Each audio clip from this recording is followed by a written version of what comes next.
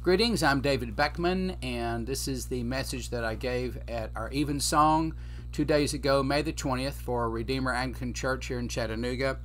The text is from Luke chapter 11, beginning in the 14th verse, going to verse 28. I'll stop with, uh, let's see here, verse 26. So let me read the text, and then uh, we'll have the homily uh, as we continue to celebrate the ascension. And he was casting out a devil, and it was dumb. And it came to pass when the devil was gone out, the dumb spake, and the people wondered. But some of them said, He casteth out devils through Beelzebub, the chief of the devils. And others, tempting him, sought of him a sign from heaven. They were always doing that, weren't they? But he, knowing their thoughts, said unto them, Every kingdom divided against itself is brought to desolation, and a house divided against a house falleth. And if Satan also be divided against himself, how shall his kingdom stand? Because ye say that I cast out devils through Beelzebub. And if I by Beelzebub cast out devils, then by whom do your sons cast them out? Therefore they shall be your judges.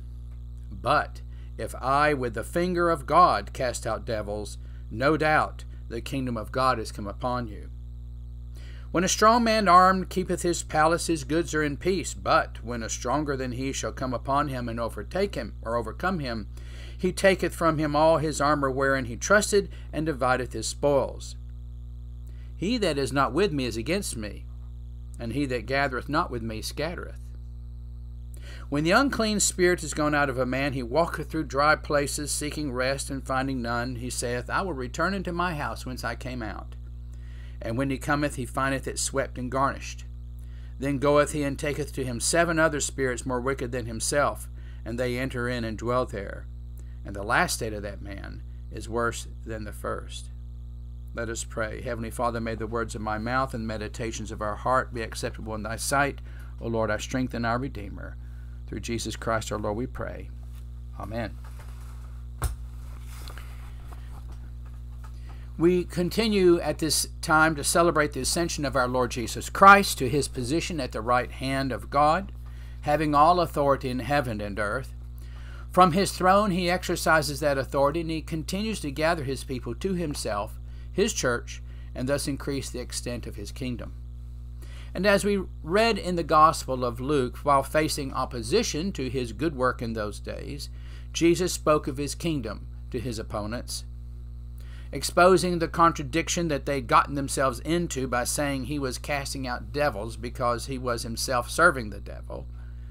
He then went on to say in verse 20, But if it is by the finger of God that I cast out demons, then the kingdom of God has come upon you.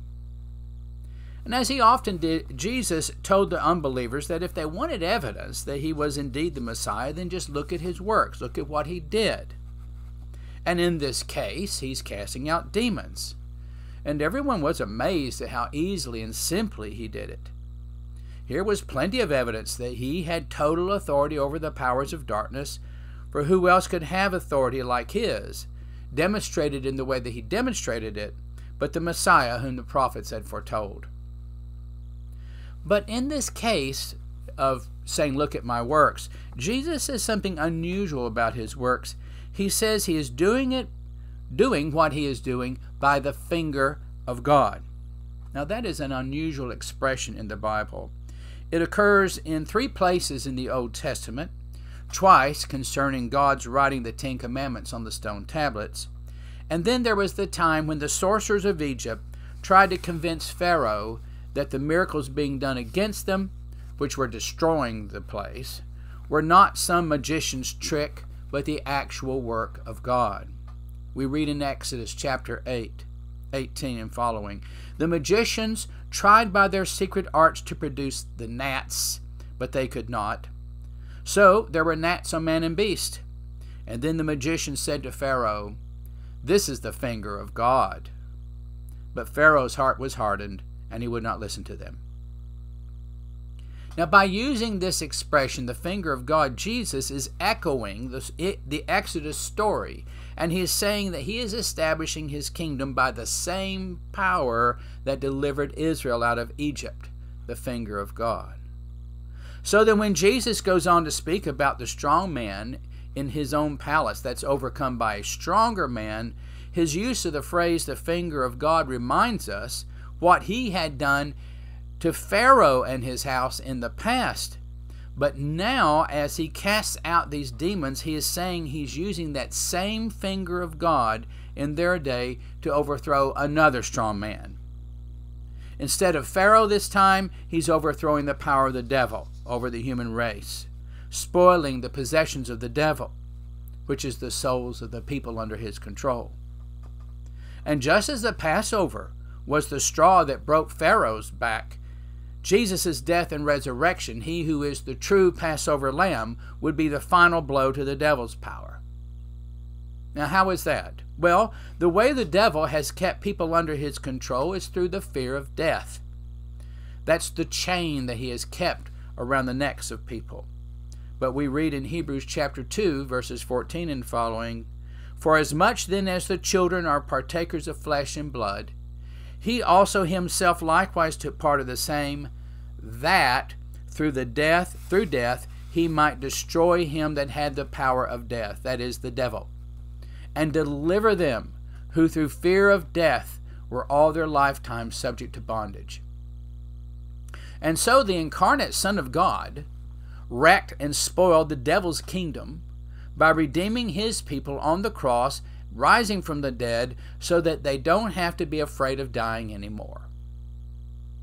And this work of his is what was promised in the very first prophecy of his coming.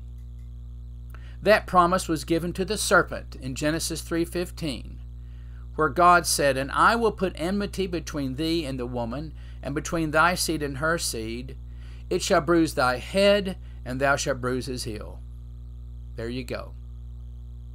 The Presbyterian theologian John Murray writes, quote, It is most significant that the work of Christ, which is so central in our Christian faith, is essentially a work of destruction that terminates upon the power and the work of Satan. This is not a peripheral or incidental feature of redemption. It is an integral aspect of its accomplishment. It is surely significant that the first promise of redemptive grace, the first beam of redemptive light that fell upon our fallen first parents, was in the terms of destruction of the tempter. Of course, the devil, just like Pharaoh, tries to fight on, but also like Pharaoh, his struggle is in vain. Pharaoh lost his army in the sea. Jesus says of his own personal kingdom, Matthew 16 18, I will build my church, the gates of hell are not going to prevail against it. So then, having proven the absurdity of his opponent's accusation, and also revealed something of the nature of his kingdom, which we have been looking at just now, Jesus adds something in verse 23. He says this, throws this in He that's not with me is against me, he that gathers not with me scatters. Now, the Jews accusing him were not with him, obviously fact, they were with the devil. And they were also trying to discourage people from believing in him, and so they were scattering his sheep.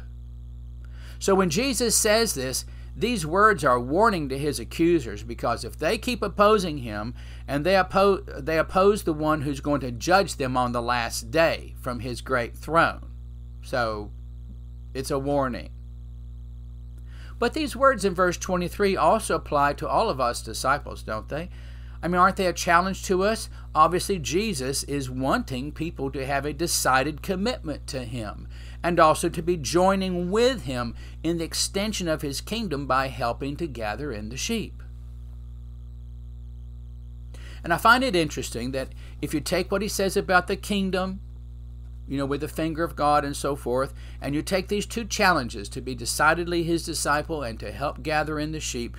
The result of all this looks very much like the Great Commission. Let me show you. Uh, let's, let me read the Great Commission again in Matthew 28, verses 18 through 20, and we'll notice this. And Jesus came and spake unto them, saying, All power is given unto me in heaven and in earth. Now there's his kingdom, right? Which he fought the devil to establish. Verse 19. Go ye therefore and teach all nations, baptizing them in the name of the Father and of the Son and of the Holy Ghost, teaching them to observe all things whatsoever I've commanded you. Now, here's the ingathering of the sheep. And then he ends with the words, And lo, I'm with you always, even unto the end of the age. And here is the personal commitment. He speaks of being with us, but he is, of course, with those who are with him. He is with all of them that will stand with him for his kingdom. And what this comparison of Luke 11 and Matthew 28 tells us is that one of the best ways that we can celebrate Christ's ascension is to renew our commitment to the Great Commission. Certainly, we adore Him and worship Him and celebrate as we do in our services. But then, starting from this position of victory over the devil that Jesus worked, indwelt by the Holy Spirit that He has poured out upon us from His throne, let us boldly take our stand with Him in this world. And let us extend the reach of His kingdom by gathering His sheep, furthering the work of discipling the nations as each of us has opportunity and gift. And as we do so, we have that wonderful promise Lo, I am with you to the end of the age. Amen. God bless you.